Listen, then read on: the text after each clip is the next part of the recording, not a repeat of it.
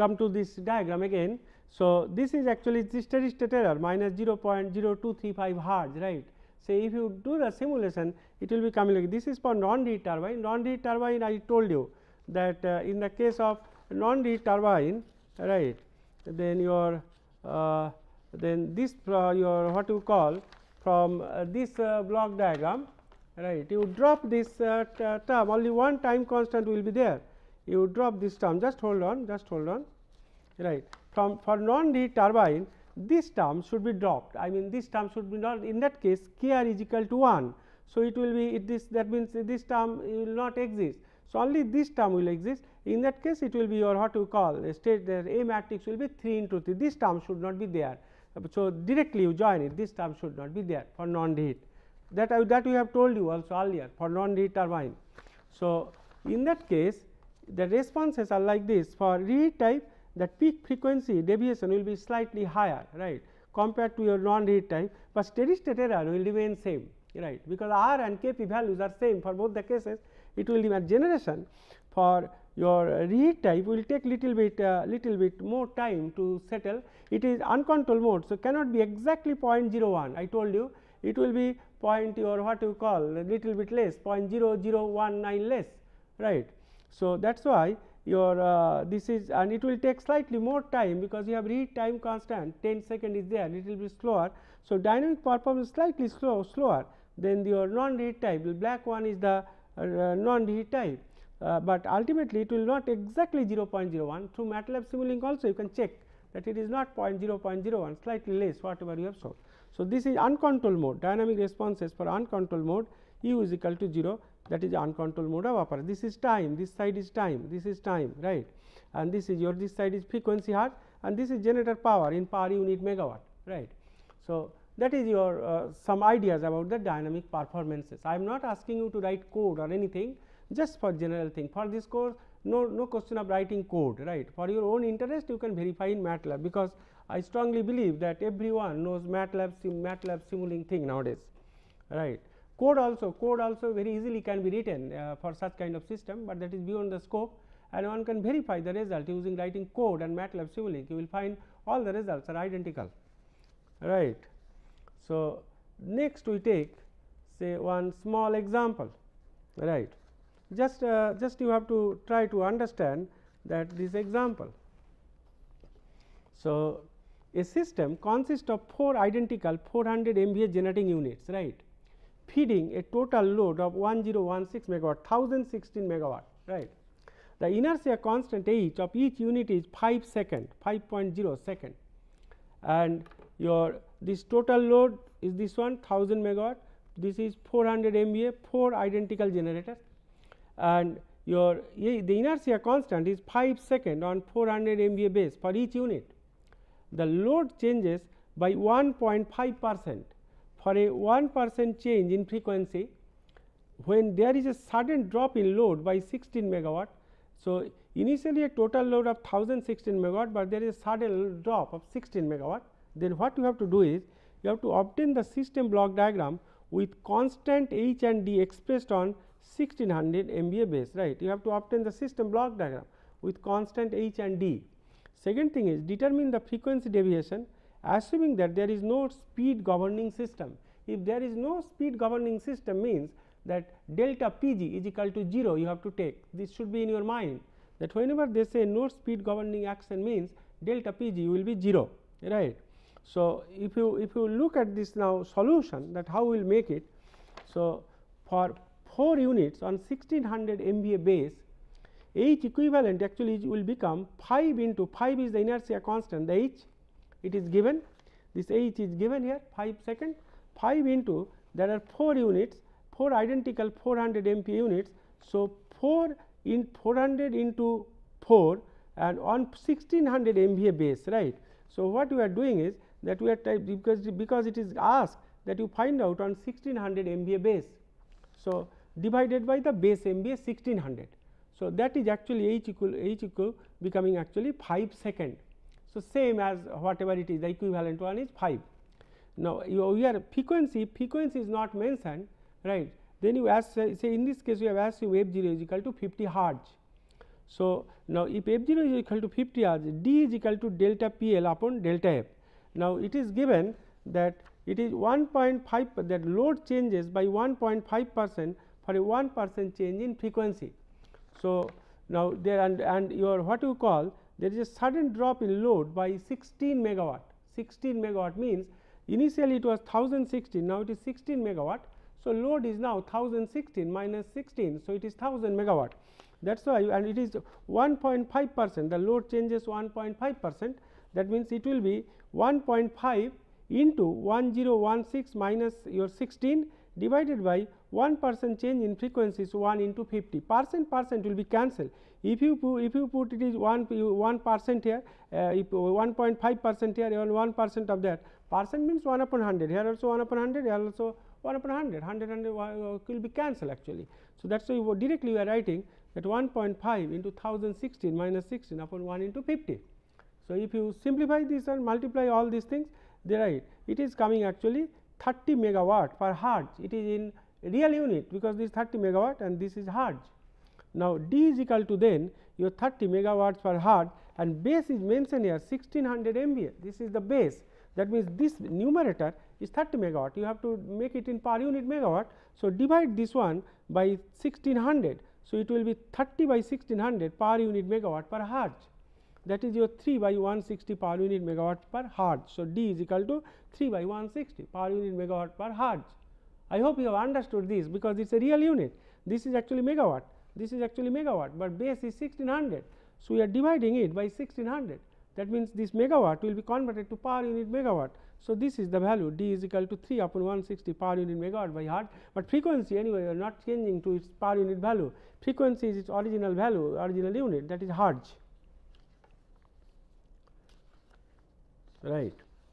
Therefore, we know this we know that T p actually we know 2 h upon d f 0 we know, but in this case we found actually h e q is equal to 5 second. That is why instead of h we are writing T p is equal to 2 h e q upon d into f 0. So, 2 h e q we got 5 second right?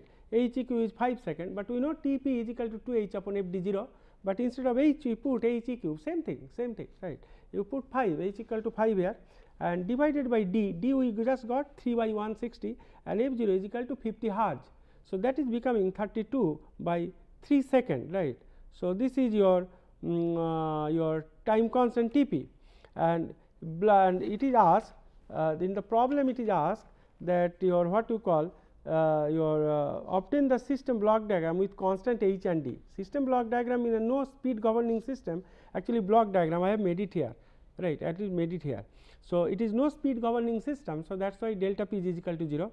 This is delta p l the load disturbance this is minus this is plus, but it is 0 no no speed governing action means that it is 0 right delta p is 0 and this part you know k p upon 1 plus s t p this is delta f only this part it is asked not as a whole all because the speed governing is not there. So, no need to draw the this side block diagram you have to understood this only this much only this much. So, k p is equal to 1 upon d. So, d is equal to whatever we have got right. So, it is uh, 3 by 160. So, it is 160 by 3 hertz per megawatt right and T p is equal to 30 uh, your what you call 2 by 3 second and this is your this is your d. So, d is equal to 1 upon k p, k p will be 160 upon 3. So, that is your 160 upon 3 hertz per unit megawatt because unit also will be ch changed and T p is equal to 32 by 3 second right. Now, the load change is decreased that is load change is negative because it was in the problem it was 1016 megawatt now it has decreased to 16 megawatt. So, it load change is negative that means delta P L is minus 16 megawatt divided by the 1600 MVA base. So, that is minus 0.01 per unit megawatt. So, load has decreased and there is a step change in a load. So, for a step decrease in load 0.0 point per unit 0.01 per unit megawatt and is a step function. So, Laplace transform of the change in load delta P L S and here I am putting S right just for your understanding will be minus 0.01 upon S because for a step input you know if the load disturbance say delta P d and if it is a step input then it will be delta P d upon S and load decrease. So, minus sign. So, minus delta P g here delta P d is equal to your, del, your delta P L is equal to minus 0.01 upon S. So, from the block diagram I mean from this block diagram from this block diagram right. So, delta f is equal to minus delta P L K P into 1 upon S plus T P right. So, that means I am I am I am making it one uh, this thing for you that delta f delta f from this diagram is equal to minus delta P L because delta P is 0. So, it is minus delta P L into K P upon 1 plus S T P right and that means you know in bracket if you want you can put s right? Laplace transform. You can put what is here also I have made it s right? Because here in the problem itself here also I have made it s just for the purpose of your eh, your understanding. This one is s. So, this one if you put it here then delta f s is equal to minus of minus 0.01 upon s into your k p upon 1 plus s t p right? Then k p t p value one can put. So, it will be 0.01 then K p upon S 1 plus S T p right. So, this is the thing that means this is also same thing I have writing delta f s is equal to that so plus 0.01 upon s into k p upon 1 plus s t p. So, it is 0.01 k p upon 1 by 1 plus 1 upon 1 uh, s into 1 plus s t p right. Now, this one you make it in that your uh, this one you make it in that your what you call in two terms right. That means, you know all these things uh, this thing you all this know from your calculus and other thing that let 1 upon s into 1 plus s t p is equal to a upon s plus b upon 1 plus s t p. So, you have to obtain a and b this is an identity this is an identity. Therefore, we can write we can write that this side this side I am writing left hand side first that A into 1 plus S T P plus B into S upon S into 1 plus S T P is equal to this term right hand side 1 upon S, S into 1 plus S T P. That means, A plus S into A T P plus B is equal to 1 this is an identity. So, we will compare the coefficient. So, this side if you compare that constant coefficient. So, A is equal to 1 right and there is no S coefficient here that means S that means uh, it is 0. So, that means it is your A T P plus B is equal to 0 uh, that means, if is ATP ATP plus B is equal to 0 that means, ATP plus B is equal to 0 right? Because just we are comparing the this is an identity. So, TP plus B your what you call is equal to your 0 because A is equal to 1 you put A is equal to 1 here. So, TP plus B so B is equal to minus TP that means, this expression that is 1 upon S into 1 plus S T P is equal to A is 1 1 upon S and b is equal to minus T p. So, minus T p upon 1 plus S T p. So, this way first to make this this you know this you know from your uh, uh, your what you call that uh, second order system right uh, in control system this you are very much aware of it.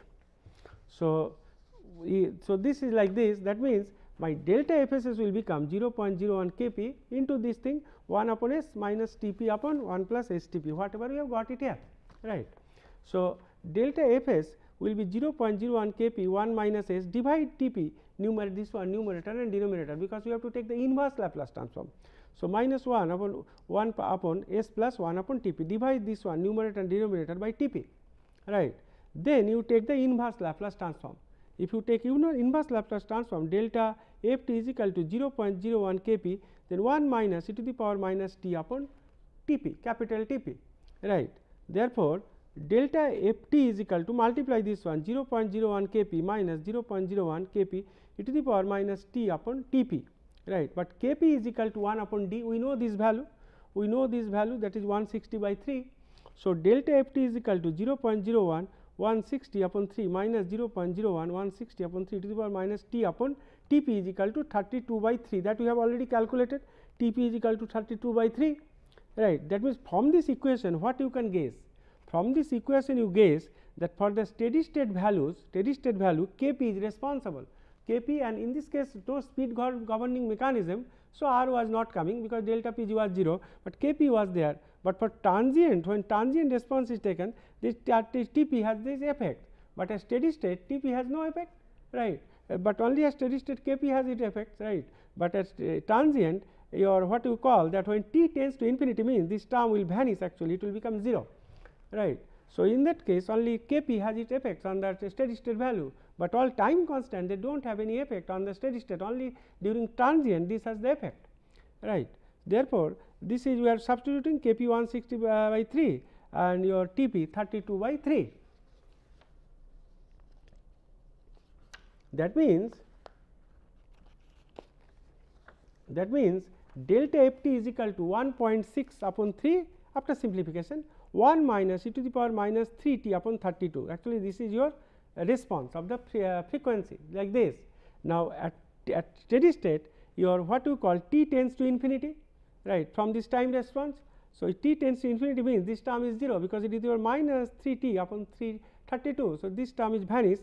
So, delta f s is equal to actually 1.6 upon 3 that is 0.533 hertz right. So, this is that because it is positive because load load has uh, decreased 16 megawatt decrease because of negative load de decrease the frequency deviation will be steady state error will be positive.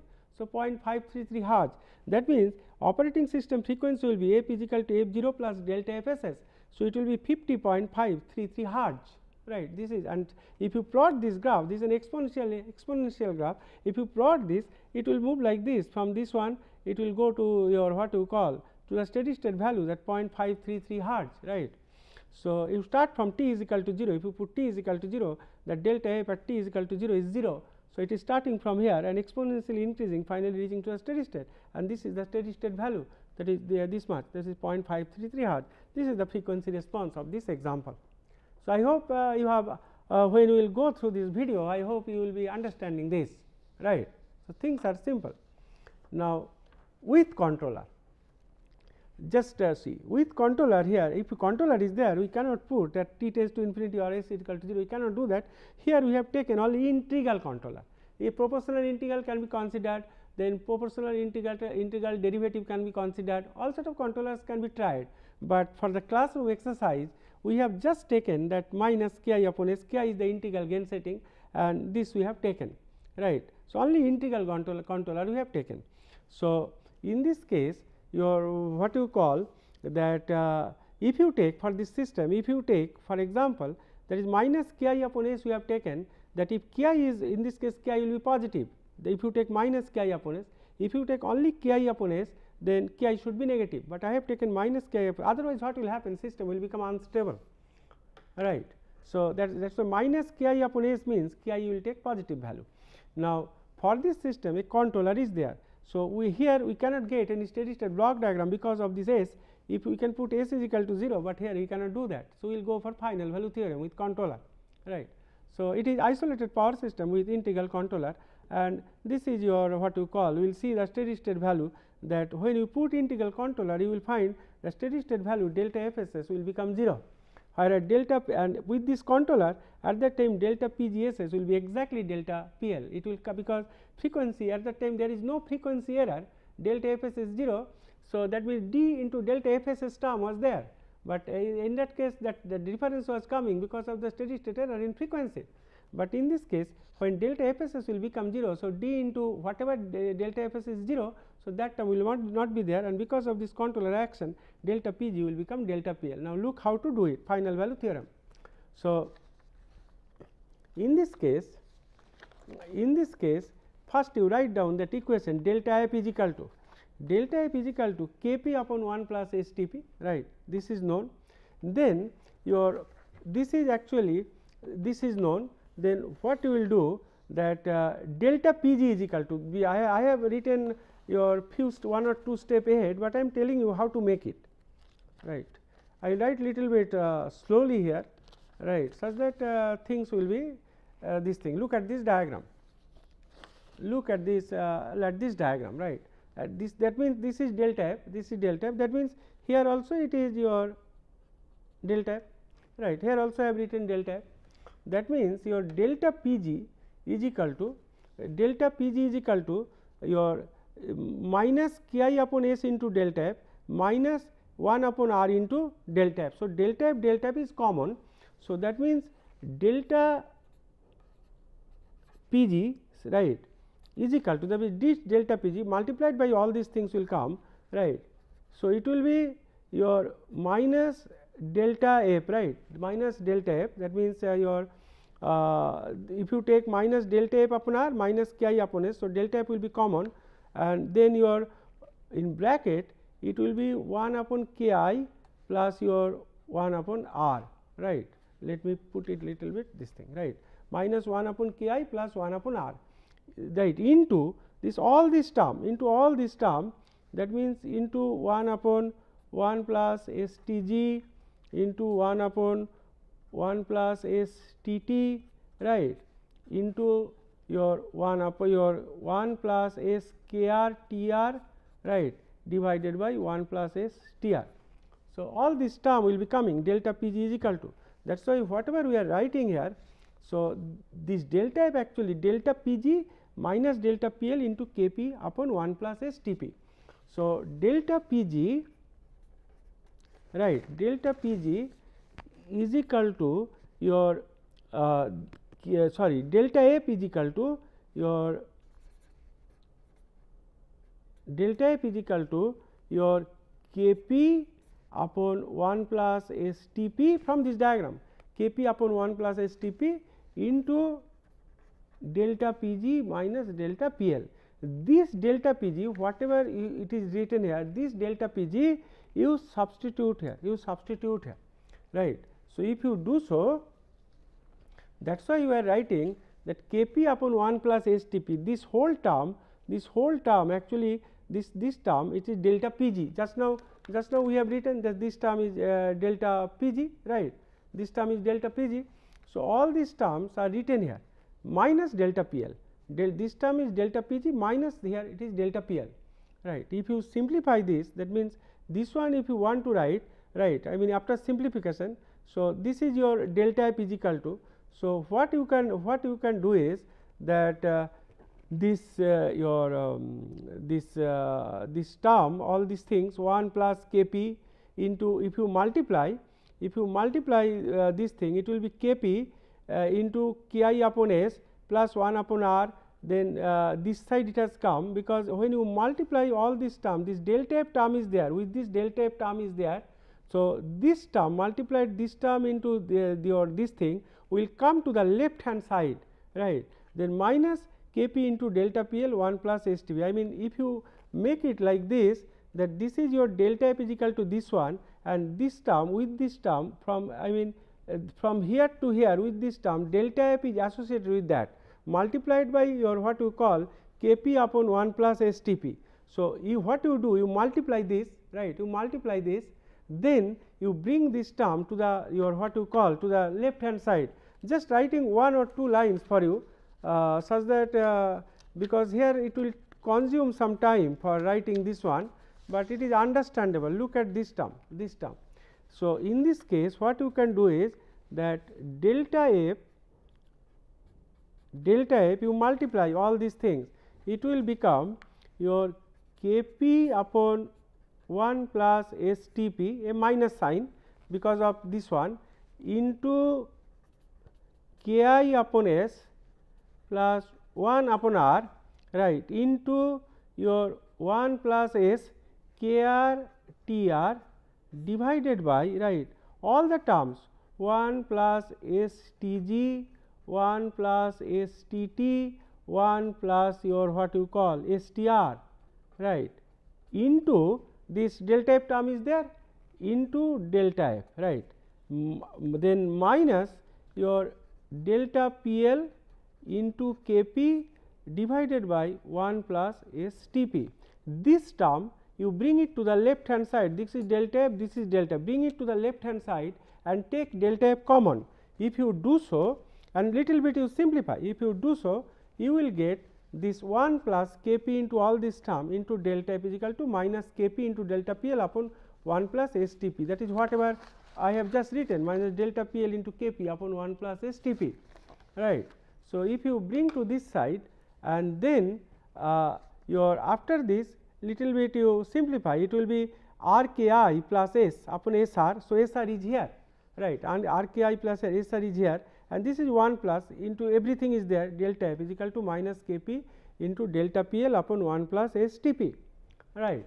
Next is so next one is let there is a step load change in delta P d. If there is a step load change, the final value theorem we want to apply. So, delta P L will be delta P d upon S. This delta step load change I have said no question of increase or decrease according to the increase it will be plus according to the decrease it will be minus. So, in general delta P L will be delta P d upon S for a step load disturbance right. That means, for a step load disturbance in this equation delta PL you put delta PD upon S here delta PD upon S. If you do so then it is becoming actually if you put delta PD upon S then uh, delta PD upon S you put it here and multiply both side by S right. So, first you put delta PD upon S in this equation delta PL is equal to delta PD upon S you put it here and both side you multiply by S. If you do so that is why here it is 1 if you both side multiply by S. So, if it is delta PD upon S this S will be cancelled it will be S plus S into something. So, that is why your it will be S and this S if you multiply both side that S S will be cancelled here you multiply this is actually this term will be delta PD upon S. So, multiply both side by S. So, this denominator S will be cancelled it will be minus K p into delta PD upon 1 plus S T P and this side if you multiply by S it will be S plus this 1 S is here. So, S S will be cancelled it will be K p into this thing R into all this thing. So, whatever we are doing is same thing we are getting. So, not writing here I think you can do it yourself just a simple thing put delta P d upon S then multiply both side by S. So, you will get this expression right. That means that means your S into delta F you simplify this one that S into delta F is equal to your whatever things coming right. So, is equal to minus K p then delta P d into R all these things I mean what will happen actually if you make it like this it will be it, it, it will become S look at the new denominator it will be S R S R into all these things S R into all these things plus this is a plus sign there is a plus sign here plus K p into R k i plus S into this term right uh, and then this one your what you call minus K p into delta P d into R 1 plus S T g 1 plus S T t 1 plus S T r into S that means both sides what we are doing is actually we are multiplying by S both side we are here it is S here also it is S. So, both side we are trying to multiply by S. So, that is why this side when you multiply that minus K p into delta P d is there along with that this side will multiply R into all these things divided by this thing then both side you please multiply by S that, that means S del f so, delta f is limit s tends to 0 s delta f right and as s tends to 0 means it is 0. So, steady state error of the frequency will be 0. So, thank you very much I think you have understood this little bit to do it and multiply both sides. So, it is S S from control system you have studied all this. So, thank you we will be coming.